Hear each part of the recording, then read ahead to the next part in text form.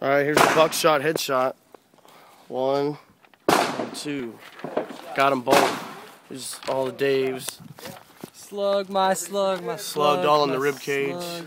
Nice. You can see the bird shot everywhere. Here's another But you can see my headshots. They're accurate. Not bad from, what, Buckshot, 30 yards away. buckshot. Yeah, that's. And over here, 30 yards away, I got a bullseye with the buckshot on this one too. So I can put it where you want it. Draco Dave and Dirty Pete out.